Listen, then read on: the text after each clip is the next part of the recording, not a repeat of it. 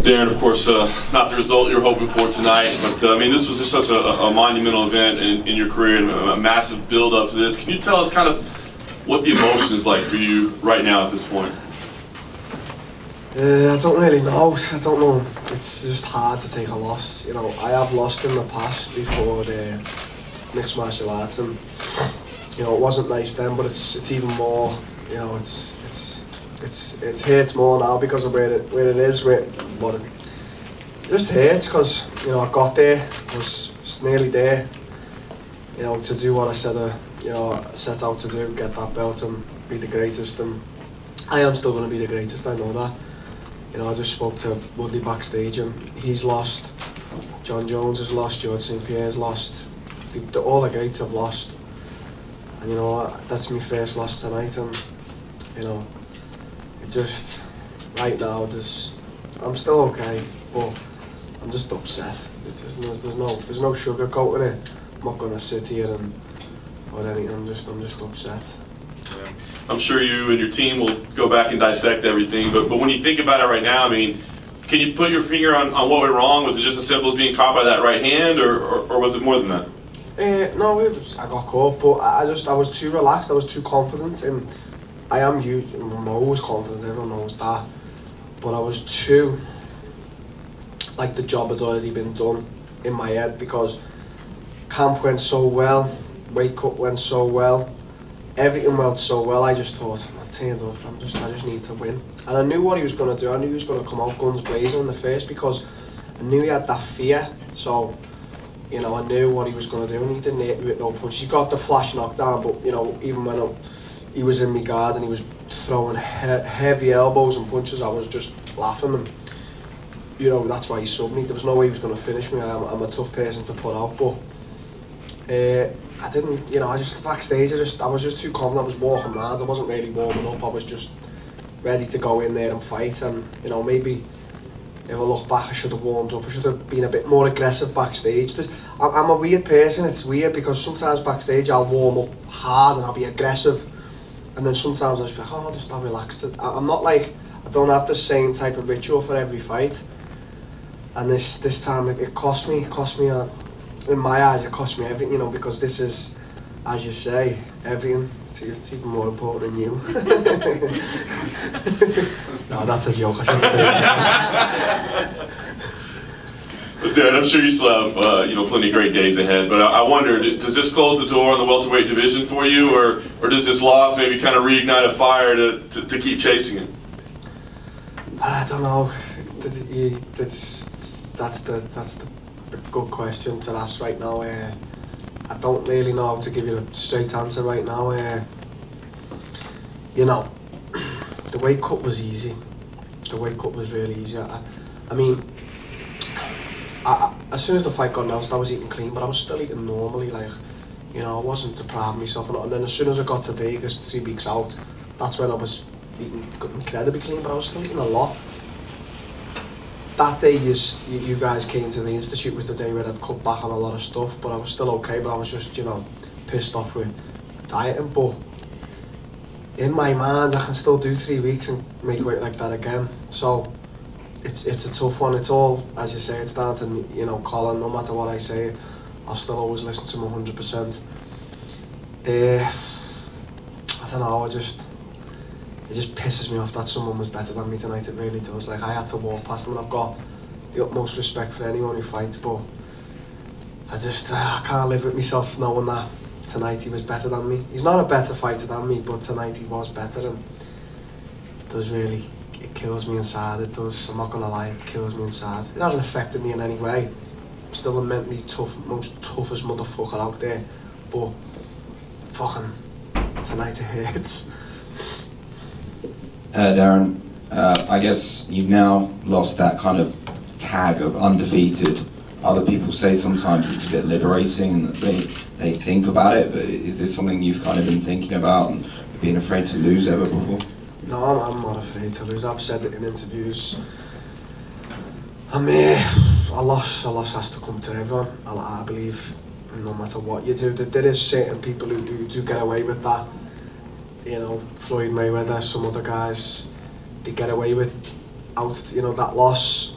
I've lost very few times in my life. I really have. You, you just didn't know me before MMA, and you know I lost three times. I actually lost for a world title in Canada, and that was It was that was just horrible for me.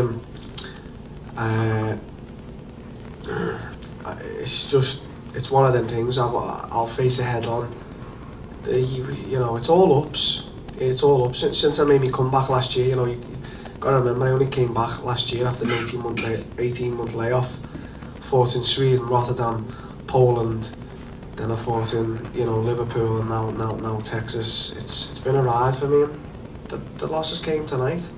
Listen, there'll probably be another loss, but as I say, I'm, st I am still going to be the greatest fighter of all time. I know I am. This doesn't change anything. It's just, as I say, I can't lie to you right now. I, I'm, I'm, I'm, I'm upset, I'm, I'm broken, I'm hurt tonight, I'm, I'm, I'm a hurt person. You just said there, obviously you had a lot of fights in the last year. Um, what does the next kind of, uh, I guess, three, six months look like for you? Do you want to take some time out?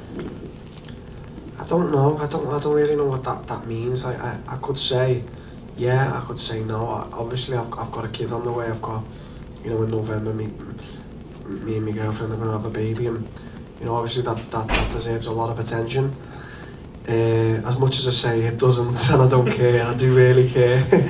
uh, I want to take a trip to, to Brazil for maybe just one week just to see me, me daughter, you know, I need that in my life.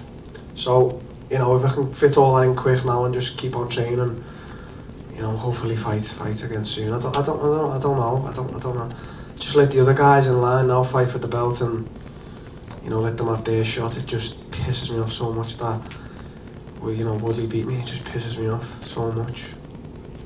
And just lastly from me, I guess um, losing hurts. Obviously, you, you've lost tonight, but is there any kind of positives you can draw from like the last three weeks of that experience being out in Vegas and I guess fighting here tonight in the main event? Yeah, as, as I say, mate, every single day should be positive, and every day was positive. Just everything leading up to about an hour ago. You know, today is a great day. I woke up, I felt great, and then one hour ago, up until now, it's just fucking been shit. It's just been shit. Uh, I don't know what to say. I'm laughing because I don't want to cry. it's, it, it is what it is, mate. Uh, it's, a, it's fucking, it's hard. It's hard. It is hard to do. It's hard to take. Some some guys deal with it differently. And I just deal with face on, I'll just tell you what I'm fucking thinking, I don't care. You know I don't care.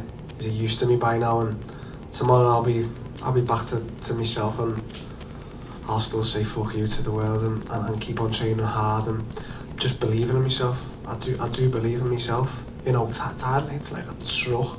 He couldn't knock me out though. hit me, got me the flash knockdown, but couldn't knock me out.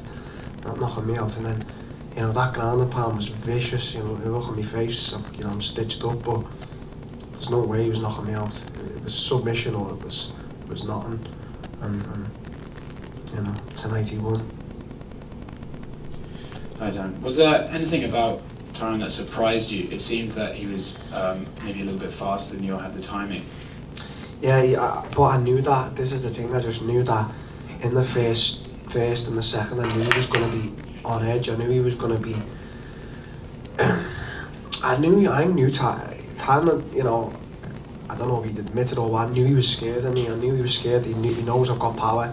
He knows I'm a, you know, a big guy. So I knew he was trying different things. You know, he couldn't take me down. He was squeezing me up against the fence with so much strength, and he wasn't stronger than me. There's no way he was stronger than me. I, I could feel that. He was trying to trip me, and I was just I was just in like I don't know. I was just in motion, just in the first, and and then you know the start of the second. I was like letting him do his thing because I knew that I was going to start doing my thing. Uh, as I say, you know, I just should have warmed up backstage better. There's no excuse, obviously. I should just had a bit more aggression. Maybe I should have been more aggressive in the first. I'm always a calm, relaxed fighter in the first. I like to see what the other guy's going to do. And you know, he was throwing power shots, and I was just putting my guard up and shaking my head. I was like, "You're not hitting me," and he knew he wasn't. I threw one left and he shook his head, but it was just like a, you know, wasn't, I put nothing behind it. You know, I just wish I could have got to the third and I could have started opening up on him and seeing what was happening, but I just got sloppy with that. I dropped my guard on that uppercut. I remember it perfectly. I dropped my guard and he come over with the right. He does it a lot and he got me with it. Um, and then there's a, a clip going around of you talking to his mum backstage. Um, what did she have to say to you? It's just one of them things. I, I, I mean, I didn't know the, is that clip already going on. I mean, fucking the internet's fast, isn't it? I mean, I won't be on the internet for a few days. I just have to stay off that. I can't, I can't look at myself getting beat, but you know, I will. It, it's, no matter when you fight someone, it doesn't matter if you hate them or you, you like them, whatever. I don't hate Tara. It's never personal with me. If, if it's you know, I just wanted to, I wanted to kill Tara as much as she wanted to kill me for this fight.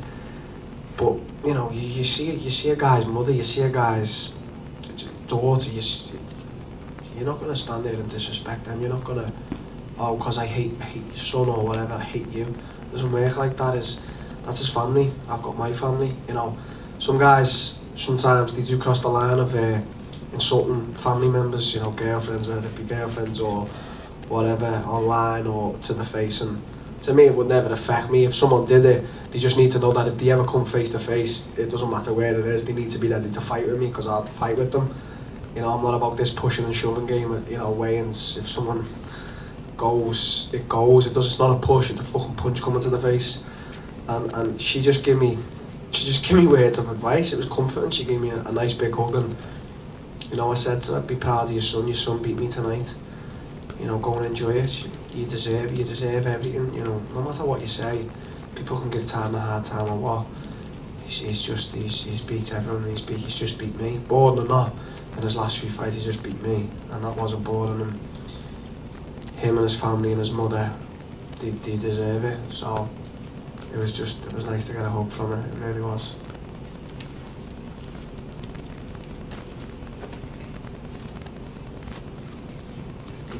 Thank you.